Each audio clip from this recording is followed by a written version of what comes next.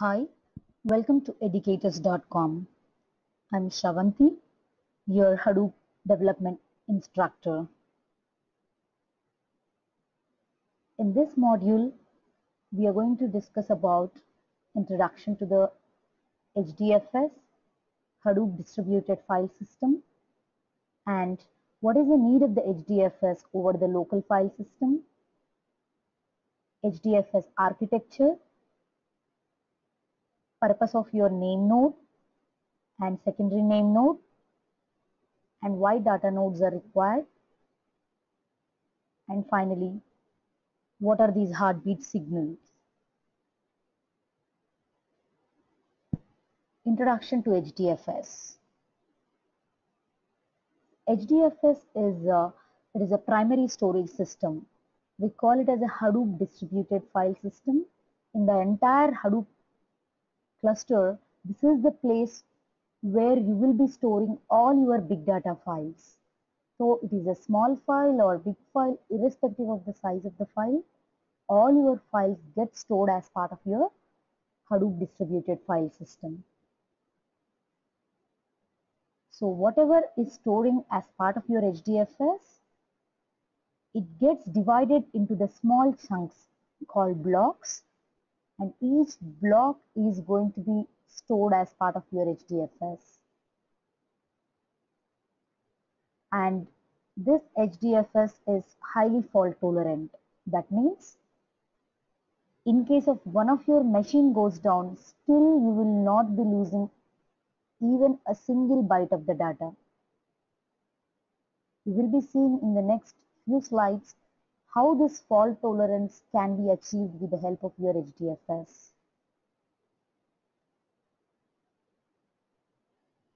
So what is the purpose of your Hadoop distributed file system when we are having the local file system with us?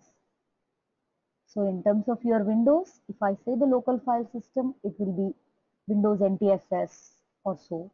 If it is a Linux, you can see that ext4 are the local file systems. But what is the purpose of this HDFS when we already have this local file system is nothing but your local file systems cannot be interact with each other. They work independently. In case one of the thing goes down, one of your local file system machines going down, the another machines does not even have that information. That means there is a chance of losing your data. So to avoid such kind of the things, to make sure that to give you the highly fault tolerant system, we are having another layer as part of your local file system. That layer we call it as Hadoop distributed file system. This HDFS is not a physical thing because whatever you are storing as part of your HDFS is also internally going to be stored in your local file system itself. But the thing is, once you navigate to your uh, file system structure, you cannot see that your HDFS files as part of your local file system. To access the files which are stored as part of your HDFS, you must need to use your HDFS commands or, or else there is something called a UI is also available. Either of these two things you can access your HDFS. Otherwise, you cannot even access your Hadoop distributed files from your local file system.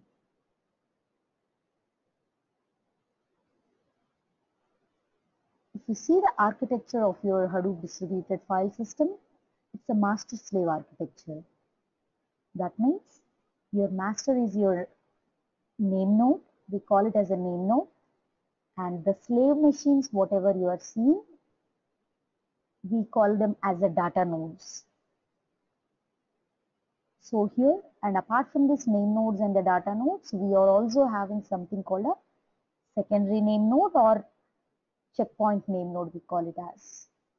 We will be seeing in detail about what is the purpose of this secondary name nodes and what is the need of your data nodes and name nodes. So if you observe this diagram, Let's assume a 300 MB of the file is there. That 300 MB of the file wants to store as part of your Hadoop distributed file system. So it is going to be divided into the blocks. Whatever you want to store, it will be dividing into the blocks. By default, the block size is 128 MB in your latest Hadoop. So your 300 MB of the size file is going to be divided into the three blocks. If you observe this, there is a yellow color block and the green block and the violet block. So your blocks are going to be stored in three machines. The same block, if you observe, the yellow block is stored in the data node 2, data node 3 and the data node 4 as well. What is the reason why it is storing as part of the three different machines is nothing but here in case one of the machine goes down due to any other issues, still your data has to be accessible in the rest of the machines. That is what we call it as a fault tolerance.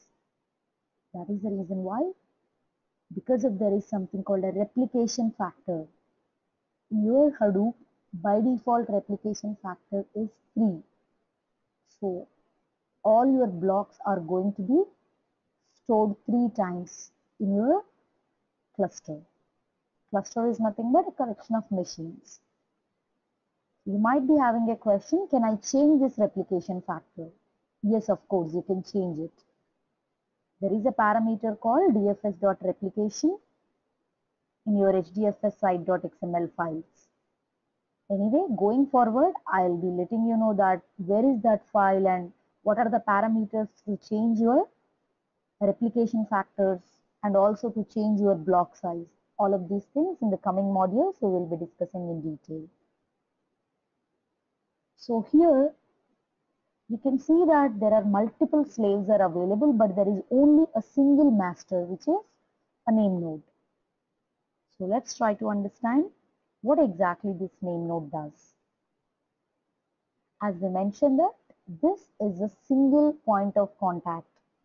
If anybody wants to contact your Hadoop cluster, the first and foremost point of contact is your name node. Even if you wanted to add any of the file to your HDFS and delete a file, move a file, copy a file, any such kind of the activity, it first interacts with your name node. And name node will take a decision where you wanted to store your files or else where you wanted to retrieve your files. Because your name node maintains some very very important file called metadata information and this consisting of all the block locations and also what are all the blocks available and where exactly it's stored all of this information is stored as part of your name node metadata. And here your name node is responsible for your block replications and your load balancing and all of these things.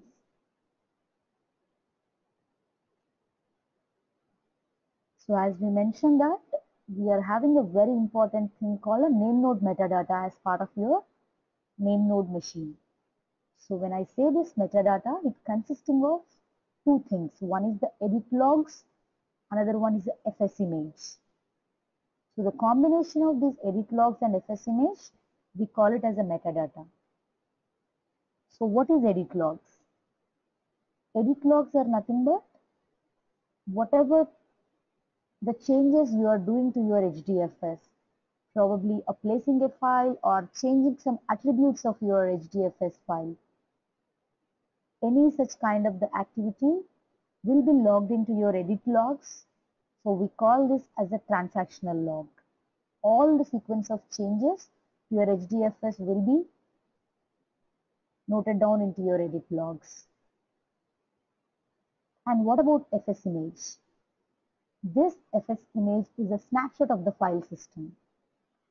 Snapshot is nothing but Let's assume if you are having your C drive. Once you open your C drive, what are all the things you can see?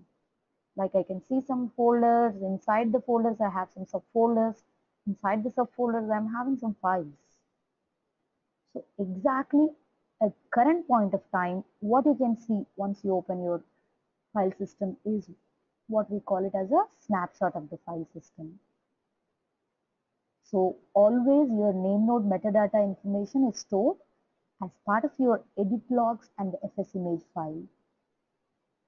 And here for the faster access, these metadata information always stored as part of your RAM. That is in the main memory, it, it will be stored. So that it will be faster because you need not do uh, disk reads and writes. It avoids that when it is in the RAM, you can access it very faster.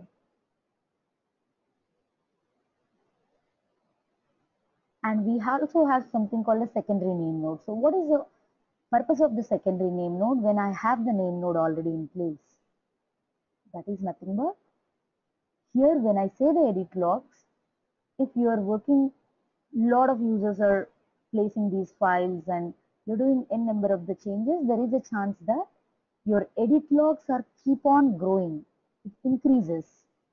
So once it increases, there is a chance that it might reach your main memory. And also, whenever you restart your name node, your edit logs are going to be merged with your FS image. So in case of the huge amount of the edit logs you have, there is a chance that your restarts also takes a lot of time. So to avoid all such kind of the problems, we do have something called a secondary name node. What this secondary name node does is, it queries for this edit logs in your name node on a periodical basis. That is, by default, it is one hour is the checkpoint period. Even you can change that one hour period as well if you want. So simply hourly basis, your secondary name node will talk to your name node and it will take all of the edit logs from your name node to the secondary name node and whatever the merging we are talking about like merging your edit logs information with your FS image that merging will be taken care by your secondary name node over here once you get the final updated FS image, this FS image is pushed back to your name node. And also, till now, whatever the edit logs are there, the previous edit logs get cleaned up because the merging is already done with the edit logs. So that is the reason why once after you receive this particular FS image, your previous edit logs get cleaned up. So that is what we call this mechanism as a checkpoint mechanism. So this is the purpose of your secondary name node to perform this checkpoint mechanism and it merges your edit logs with the FS image.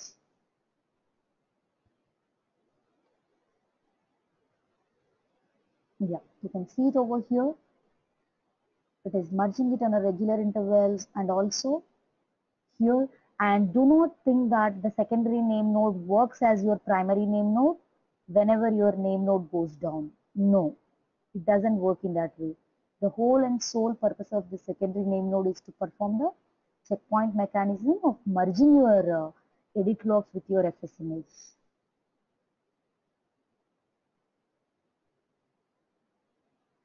And we also saw in the architecture diagram, like a lot of data nodes are available.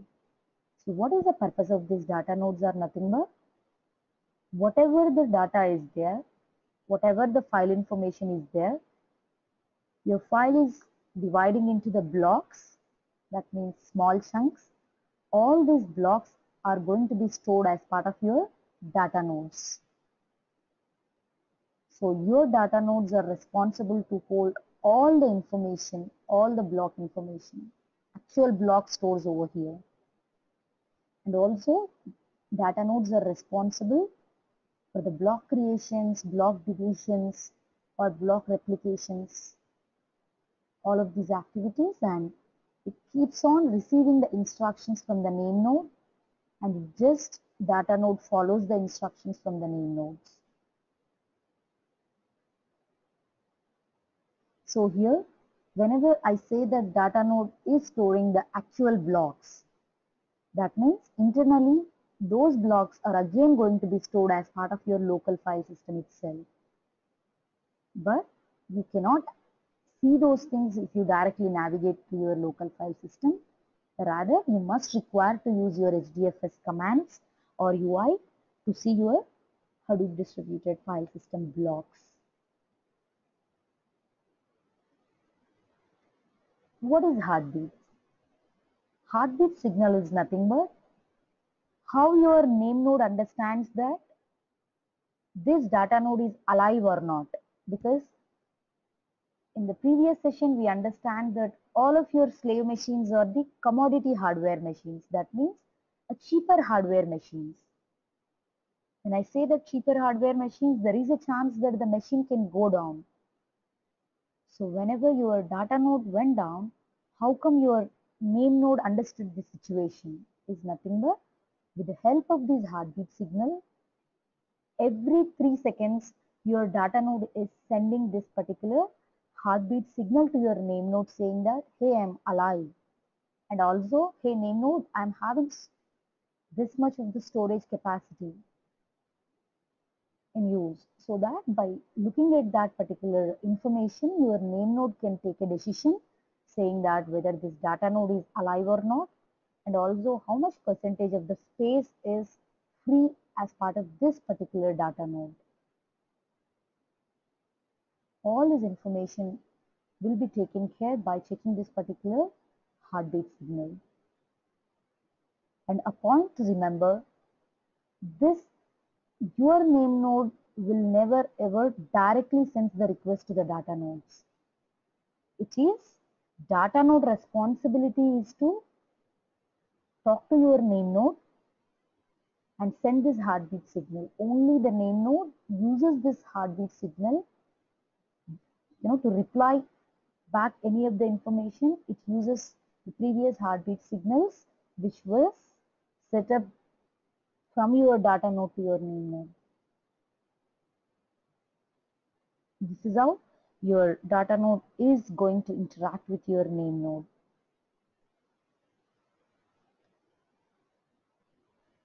So in this module, we discussed about the HDFS is the primary storage system in the entire Hadoop to store your files. And whatever you are storing, any file is going to be divided into the multiple blocks. And also each block is going to be divided into three times because of your replication factor. And HDFS is having a master slave architecture. That means a master, we call it as a name node and the slave machines are a data nodes. And your name node consisting of the metadata information, that is it consisting of your edit logs and FS image files. Edit logs consisting of your transactional details like whatever the changes are happening to your entire system and FS image is like snapshot of the file system and we have a secondary name node. It does the checkpoint mechanism by connecting to your name node on an hourly basis and whatever the edit logs are there, it copies these edit logs to your secondary name node and it performs the merging of your edit logs with your FS image and finally it produces the fresh updated FS image and this fresh updated FS image will be pushed back to your name node. When it comes to the data node, data node is responsible to store your actual block information. And also it sends the heartbeat signal to the name node saying that, hey, I'm alive and also this much percentage of my capacity is occupied in this particular data node. In the next module, we are going to see how we are going to write a file into the HDFS and how we can read a file into the HDFS.